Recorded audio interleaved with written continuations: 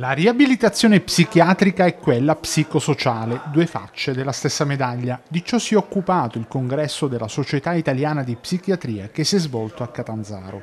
Il congresso è particolarmente importante perché affronta un tema che è quello della riabilitazione psichiatrica che qualche volta viene poco eh, conosciuto anche dagli stessi operatori. Il punto centrale del discorso riguarda il fatto che la riabilitazione psichiatrica è il grande contenitore di tutta la cura psichiatrica, quindi non va pensata, anche la gente comune dovrebbe pensarla non come l'effetto finale dopo il trattamento farmacologico e dopo il trattamento psicoterapeutico, ma come un grande contenitore che serve per rimettere il paziente all'interno della, della, società con un funzionamento sociale accettabile e con una, diciamo, una capacità di autodeterminare il proprio destino.